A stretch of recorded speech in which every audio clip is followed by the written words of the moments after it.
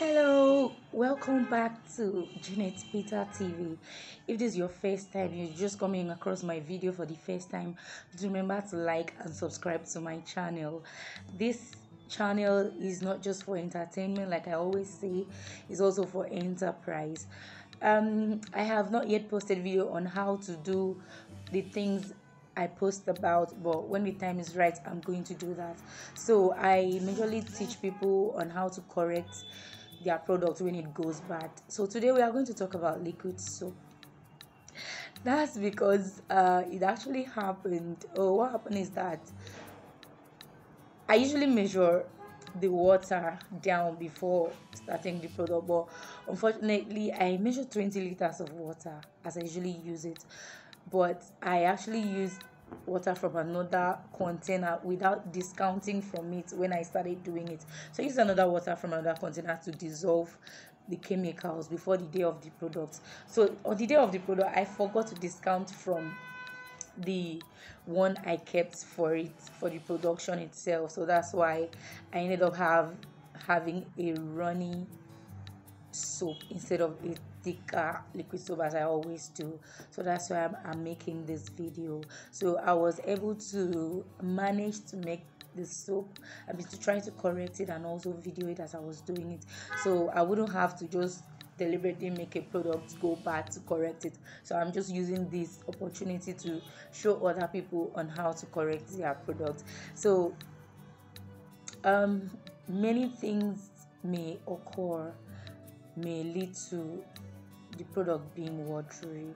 It's maybe from the measurements. Sometimes your battery can disappoint or your scale may just decide to misbehave or sometimes maybe from the product itself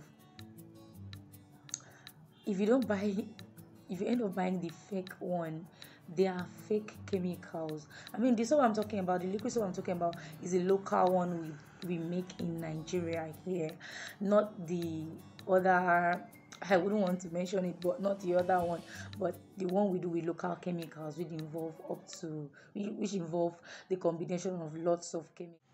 So I'm going to start with dissolving SLS, also known as rice.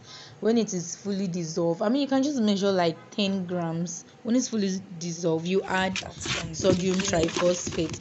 I just suddenly remember that I should video it. So this it's going to be you can actually add more water but because of the condition of the soap i wouldn't want to add water so i'll be showing you every step of the way you can also add nitrosol after this and please remember to properly dissolve the nitrosol so it will not form lumps in the soap. So when the result is ready, I'll I'll come back to it. Sorry, I just need to concentrate and drop the phone. I didn't really plan videoing it. I just want to use the opportunity.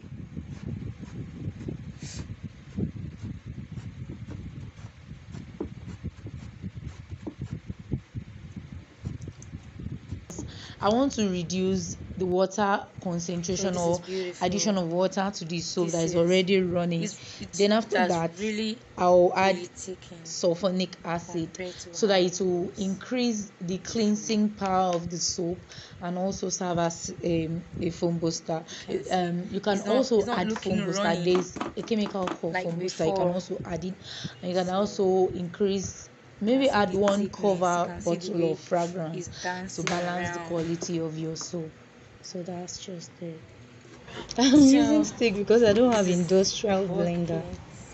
yes also to make it easier i use hand mixer to mix individual chemicals while dissolving it before adding them together and use wood to mix it up.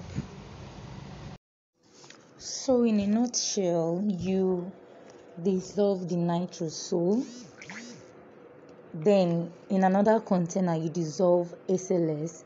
Then add salt or sodium triphosphate together before adding sulfuric and foam booster now why you're adding all this is because since the soap is watery the quantity of the soap has increased